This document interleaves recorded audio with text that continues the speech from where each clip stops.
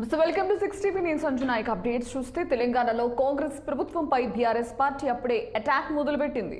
కాంగ్రెస్ ఇచ్చిన హామీలపై నిలదీయనుంది. ఇప్పటికే మాజీ మంత్రి కేసీఆర్ దీనికి సంకేతాలు సైతం ఇచ్చారు. ఇక ఇదే విషయానికి సంబంధించి మరిన్ని అప్డేట్స్ మా ప్రతినిధి రాములు అందిస్తారు.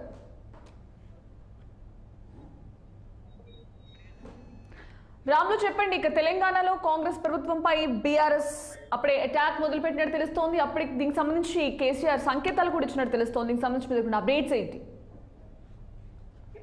ఏదైతే రెండు వేల ఇరవై మూడు అసెంబ్లీ ఎన్నికల్లో తెలంగాణలో కాంగ్రెస్ పార్టీ అధికారంలోకి వచ్చింది ఈ నెల ఏడవ తేదీన ఎల్వీ స్టేడియం వేదికగా సోనియా గాంధీ రాహుల్ గాంధీ ప్రియాంక గాంధీ మల్లికార్జున ఖర్గే సమక్షంలో ముఖ్యమంత్రి రేవంత్ రెడ్డి ప్రమాణ స్వీకారం చేశారు. ఆయనతో పాటు పదకొండు మంది మంత్రులు కూడా ప్రమాణ స్వీకారం చేయడం జరిగింది.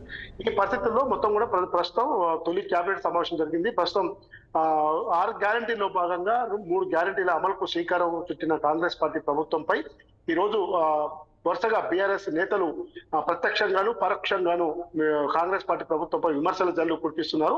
తాజాగా మంత్రి మాజీ మంత్రి party working president Sircilla MLA KTR ఇవాళ అసెంబ్లీలో మీడియాతో చిట్ చాట్ మాట్లాడుతూ ఆ, వచ్చిన ప్రభుత్వం వచ్చిన ఇరవై నాలుగు గంటల్లో రైతు రుణమాఫీ చేస్తామన్నారు రైతు బంధు వేస్తామన్నారు.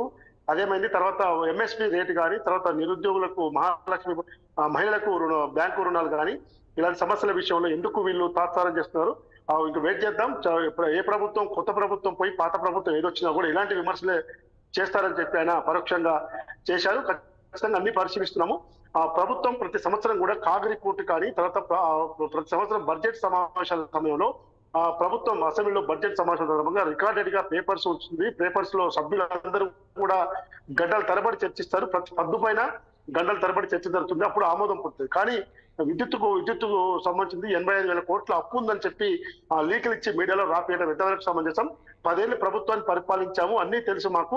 కొత్తగా పార్టీ కొత్తగా వచ్చిన వాళ్ళు ఈ విధంగానే ఉంటుందని చెప్పి కూడా ఆయన చేశారు. అయితే ముఖ్యంగా అసెంబ్లీ స్పీకర్గా వికారాబాద్ ఎమ్మెల్యే ప్రసాద్ కుమార్ నామినేషన్కు అధికార పార్టీ ఆహ్వానిస్తే ప్రతిపక్ష పార్టీ హోదాలో మంత్రి కేటీఆర్ అసెంబ్లీకి వచ్చారు. ఆ సందర్భంగా మీడియాతో చిట్ చాట్ చేస్తూ ఈ పై వ్యాఖ్యలు చేశారు. Sanjana.